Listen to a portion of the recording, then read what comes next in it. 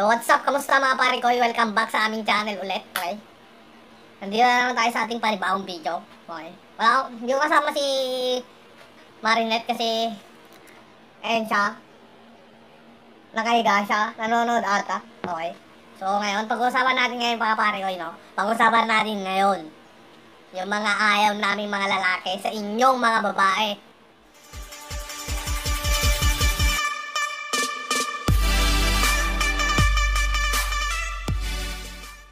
Number one, ayaw namin ng babaeng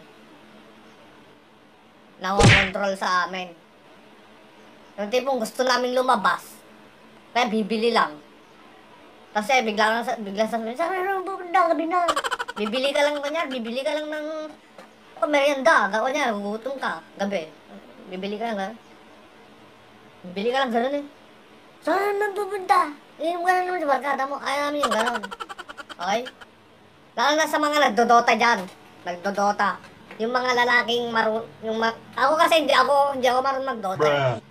Yung mga lalaking mahilig sa Dota. Pansinin niyo yung mga girlfriend nyo. Yung mga girlfriend nyo. Ganun, di ba? Yung tipong, magdodota ka, ganun. Magdodota ka na naman. Wala na naman oras. Di ba? Ayaw ng mga lalaki yung gano'n, yung inaanohan nyo sila, yung kinokontrol nyo sila, kinokontrol nyo yung buong buhay niya. Buong buhay nila. Yung ginagawa nila, ayaw nila ng gano'n. Kinokontrol nyo yung mga ginagawa nila. Lilingon lang saglit gano'n eh. Ay, sino tinitingnan mo? Diba? Number two. Ayaw ng mga lalaki yung babae hindi nagsasabi ng problema. Ayaw, ayaw nila yung ganon. Lalo na sa mga magsyota dyan. Yung boyfriend mo, sa tingin mo ba gusto, ng, gusto niyang hindi ka nagsasabi ng problema? Kasi may mga babaeng ko na yung hindi, hindi nila sinasabi yung problema nila. Yung para para masabi lang nila yon kailangan pa nilang awayin yung boyfriend nila. Tapos tatanong, siyempre, pag inaaway mo na yung boyfriend mo, sasabihin sa'yo na, ano bang problema? Ba? Ganun, ganun na yung sasabihin sa'yo. Dapat kasi girls, pag may problema kayo, sabihin nyo sa kanila. Kasi boyfriend nyo sila eh, maiintindihan kayo, maiintindihan nila kayo pag may problema kayo. Sabihin nyo sa kanila. Kasi boyfriend nyo sila eh, maiintindihan kayo, maiintindihan nila kayo. So, yun. Ayaw namin yung mga ganon, yung mga babaeng hindi nagsasabi ng problema. Kasi feeling namin no, ah, wala silang tiwala sa amin. Parang ganon. Kasi boyfriend, boyfriend, kasi boyfriend ka, boyfriend, boyfriend mo sila eh. Dapat sabihin mo sa kanila kung ano yung problema mo para maayos yung dalawa, para mapag-usapan nyo. Number 3. Ayaw namin mga lalaki. Yung babaeng mahilig magmura. Okay, yan. Pangit kasi tignan, mga pare ko eh. Pangit kasi tignan, mga pare ko, yung babaeng mahilig magmura. Oo. Di ba, babe? Tulad ni Juan. May classmate kami ganun eh, yung tangina. Oo, ah, ganun siya. Oo. Sorry for the words sa mga pare ko eh. Pero may mga ganun kasi babae yung mahilig magmura talaga. Yun, ayaw namin yun. Yung babae mahilig magmura talaga. Ayaw, ayaw na ayaw ng lalaki yung ganun. Nakaka-turn off nakaka-turn off sa isang babae yung ganun. Yung ganun, yung, yung, yung mahiling magmura na babae. Oo, oh, matuturn off kang, ikaw, ikaw na lalaki, matuturn off ka sa babaeng ganun. So, number 4. Ayaw namin yung babaeng, ayaw namin yung babaeng mahilig magsugal. Okay, ito na ng bingo. Lucky 9. Saka tong eats. Yan. Ayaw namin yan. Kasi, kasi bag, kasi ayaw naman lalaki yun eh. Nakatuturn off din sila sa ganun eh. Yung mga babae may mag Kasi iisipin ng lalaki, bakit ko pa siya liligawan? Bakit ko pa siya pagtitiisan? Kunyari, kayo, ikaw, ikaw na babae, mahilig kang magsugal. Sa tingin mo ba, papakasalan ka ng, ng lalaki pag ganun? Isipin lang ng lalaki eh. Baka, is, kunyari, um, nakagraduate kayong dalawa. Okay, nakagraduate kayo. Tapos yung, siyempre, maghahanap kayo ng trabaho. kunyari, yung, la, kunyari, yung lalaki muna, mag-abroad siya. Sa tingin mo ba, ipapadala niya sa iyo yung pera? Na alam niyang marunong, na mahilig ka sa sugal? Hindi. Hindi niya bibigay sa iyo yan. Kasi alam niyang isusugal mo eh. Okay. Number five. Ayaw ng mga lalaki. Yung babaeng sobrang bango. Yung tipong yung babae, yung ang tawag kasi na ito. Yung babaeng sobrang bango na, ay yung halos ibugbog, itapon niya na yung pabango sa damit niya, yung sobrang bango na. Ayaw ng mga lalaki yun. Oh, promise, ayaw ng mga lalaki yung sobrang bango.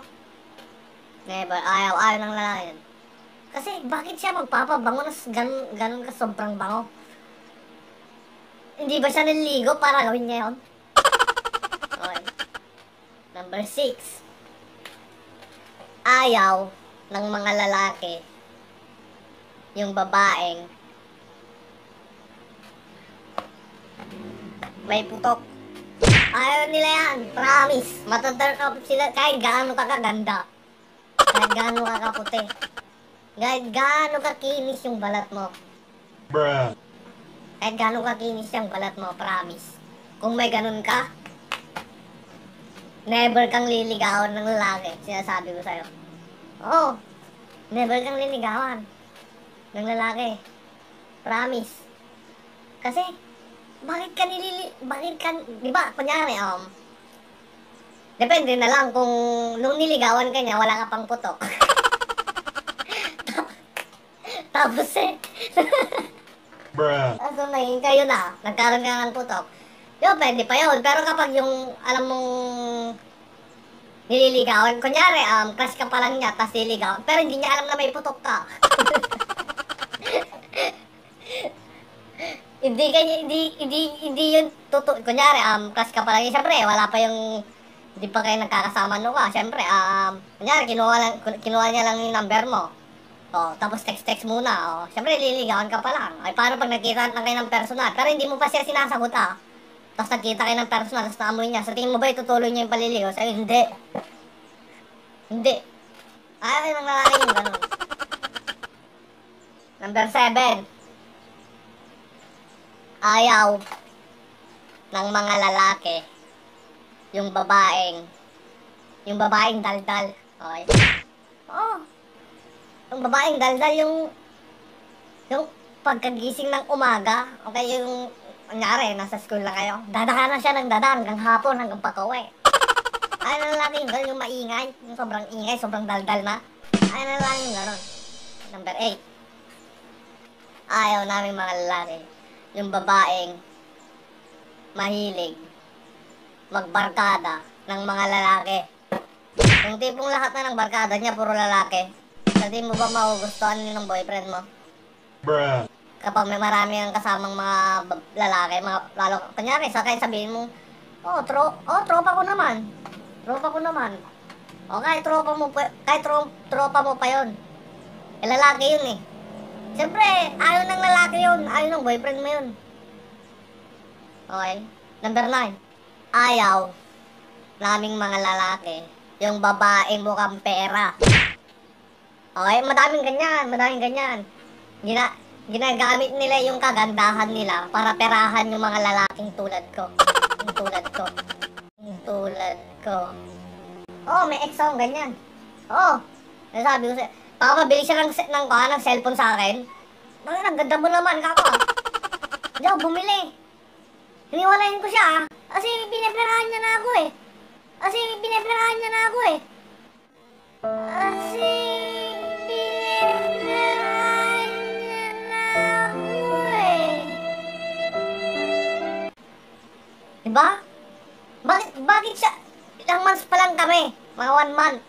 Tapos ganun, ganun na yung sasabihin sa akin. Mahal. Bilan mo nga ako ng Samsung. Bilan mo nga ako ng cellphone, Samsung. Bruh. Yun, hiniwalayin ko siya. Kasi pumasok agad sa isip ko na mukha siyang pera.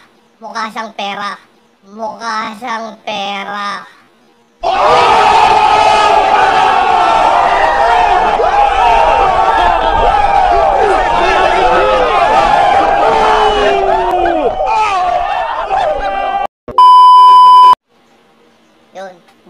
Din pangalan nun. Basta ayaw ng mga lalaki yung ganun, yung babaeng mo ang pera.